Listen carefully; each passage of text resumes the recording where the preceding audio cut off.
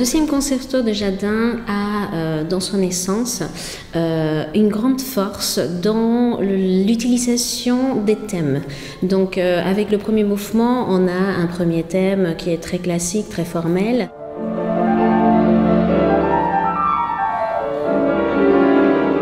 et que tout de suite va nous amener dans un deuxième thème magnifiquement bien fait, avec une très très belle mélodie qui colle très facilement à la peau.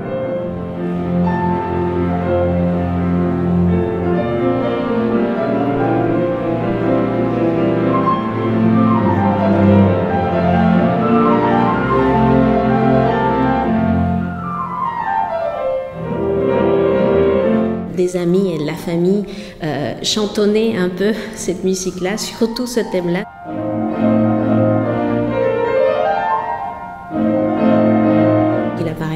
Majeur, qui est la tonalité, euh, la relative majeure de la tonalité principale du concerto. Et après, il va le traiter de forme très classique. Il va vraiment conserver cette forme classique dont il appartient dans son époque. Mais euh, c'est surtout dans le traitement, je dirais, des harmonies et un traitement bien, bien spécifique à lui, à son langage, à lui de Jadin, qui est euh, sa main gauche.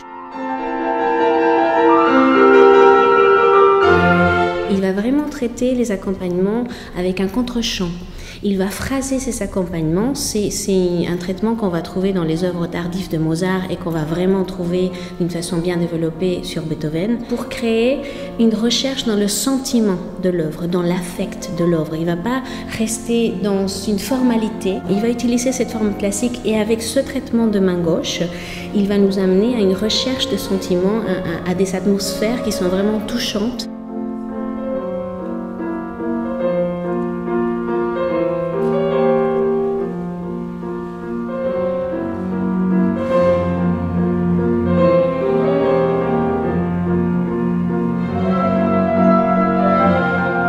Donc dans le voyage émotionnel, je pourrais euh, m'épanouir vraiment beaucoup dans le troisième mouvement. C'est un mouvement en forme de rondeau, dont le refrain est un peu euh, un lingarette, où on, on pourrait l'interpréter à la polaque avec un, un saut euh, vraiment très marqué.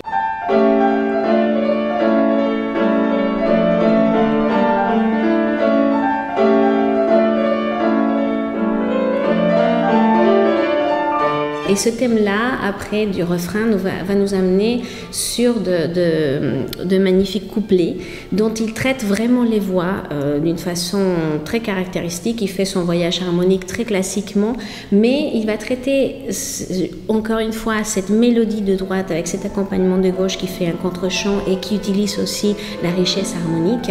Et il va vraiment nous faire voyager dans euh, deux atmosphères différentes. Donc un sentiment de nonchalance un sentiment de, nostalgie, de, contemplation. On voudrait rester dans ce thème-là.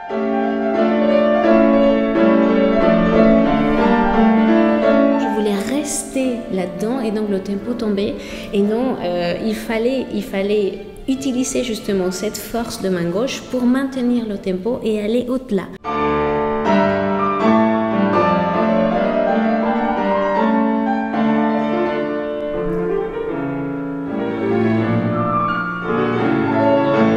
C'est justement ces deux forces qui créent ce sentiment un peu euh, un peu contraire, mais qui est très riche en soi. Donc une contemplation, mais qui doit rester en mouvement, qui doit nous amener dans un élan euh, musical ailleurs.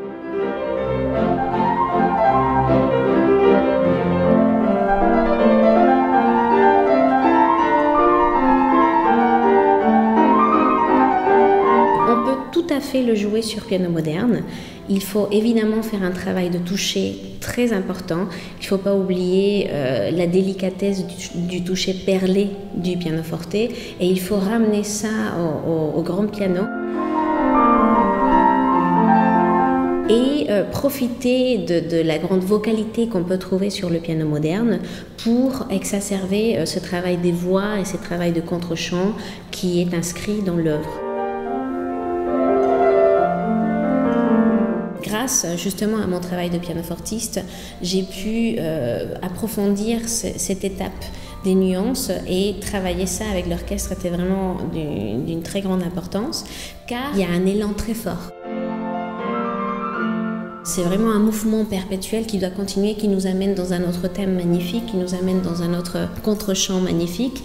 Et donc cet élan, il peut nous, apporter une grande passion et donc on peut avoir un peu un toucher fort qu'on veut chanter partout.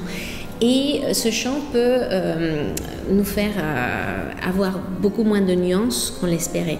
Et grâce au travail du chef et avec l'orchestre, on a pu trouver vraiment un équilibre important et euh, faire des, des grands pianos et des grands pianissimos.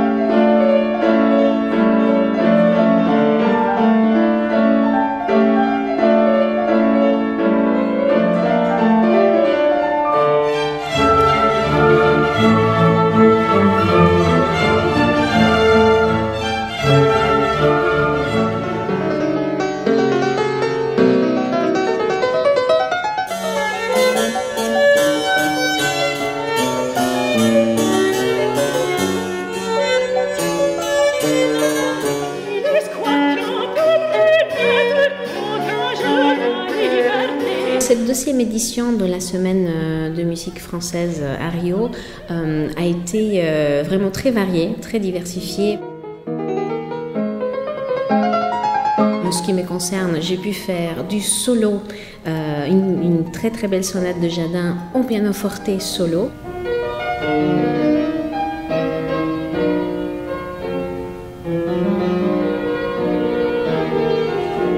Après, j'ai pu travailler en duo avec euh, le claveciniste Bruno Procopio.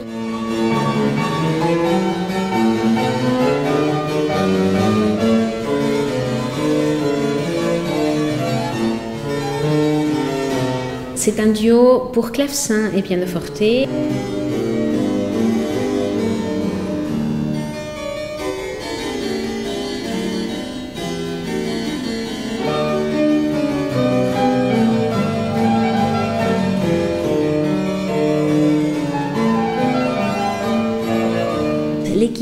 Les deux instruments est vraiment fantastique. Il y a des thèmes qui euh, restent que pour le clavecin, des thèmes qui sont que au pianoforte, des thèmes qu'on se lance l'un à l'autre. Et ce qui est très original dans cette œuvre, c'est comment il a trouvé euh, un équilibre parfait dans les timbres.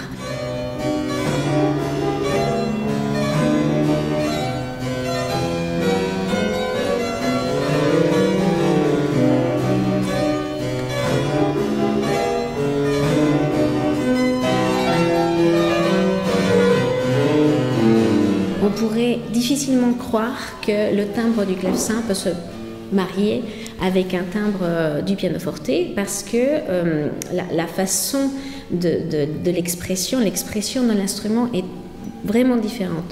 Pour moi, le clavecin est dans l'attaque et un peu dans l'explosion euh, de la sonorité avec ce pincement du plectre.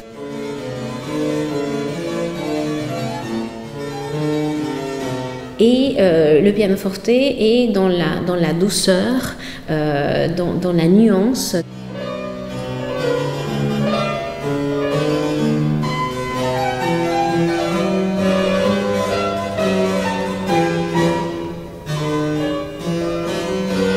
dans la gradation sonore et vraiment dans la gradation des nuances.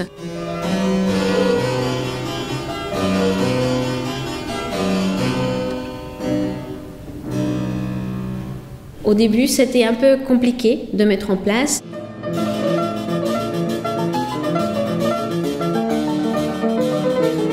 Et quand on a trouvé euh, la façon de s'écouter l'un dans l'autre, et c'est, je pense que le déclic a été les basses. Si on écoute bien les basses des deux instruments, si on peut vraiment s'écouter l'un à l'autre dans nos basses, euh, le reste fonctionne vraiment très très bien.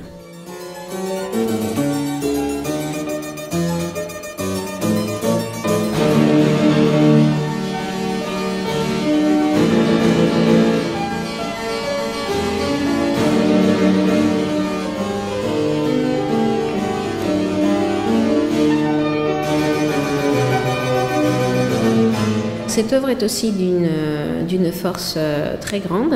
Elle est à la fois majestueuse, dans un premier mouvement très, très beau, très grand, très, très ample au niveau sonore, et puis un deuxième mouvement en forme de menuet, un troisième mouvement très lyrique. Euh, magnifiquement écrit avec des thèmes euh, parfaitement, euh, je dirais que c'est la haute couture qu'il a fait dans ce troisième mouvement, et un escarceau final très vivant. Qui, qui, termine grandiosement cette œuvre. Donc c'est un caractère très fort, c'est une découverte vraiment pleine de magie.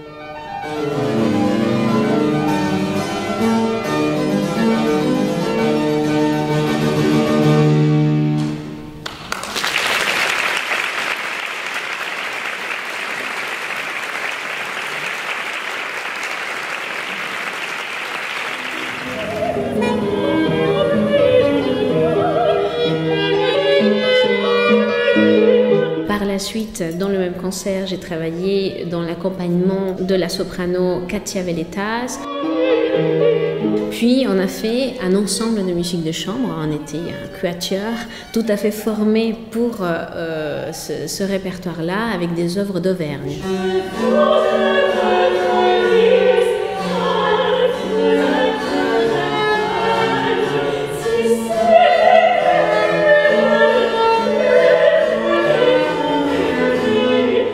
Ça, c'était vraiment très riche parce qu'on a pu passer euh, euh, du, pur solo, de, la pure sonate classique de Jadin, à des œuvres très très riches avec du chant, du violon, avec notamment la, la grande violoniste Stéphanie Marie Degan.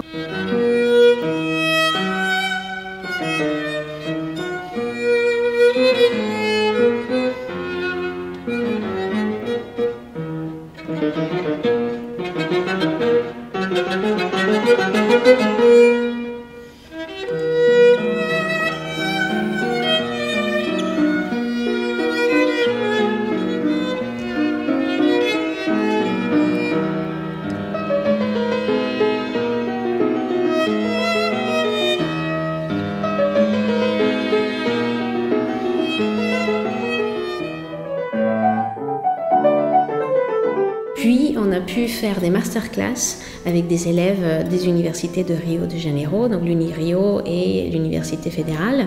Et ça, c'était très enrichissant parce qu'on a pu vraiment échanger nos connaissances avec eux. On a pu leur, apporter notre avis sur les œuvres qu'ils ont pu interpréter dans les masterclass.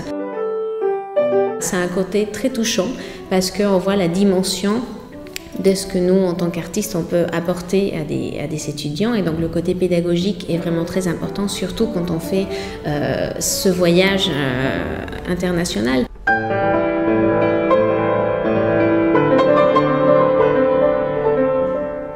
Effectivement, en 2013-2014, j'ai pu euh, réaliser une grande tournée avec euh, des œuvres d'Alcan, Charles Valentin Alcan, c'était l'année de, sa naissance et donc euh, l'anniversaire de sa naissance.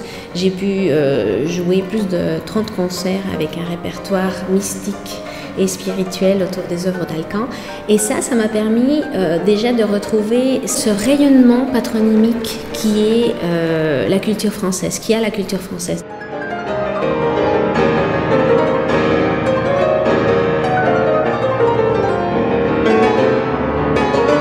Participer euh, de cette tournée d'Alcan et maintenant de cette deuxième semaine euh, de musique française à Rio, ça m'a permis encore de, défricher des œuvres qui sont pas vraiment beaucoup jouées en France et les apporter au Brésil, c'était euh, vraiment une grande opportunité qui, qui me laisse participer de, de ces rayonnements du patrimoine français.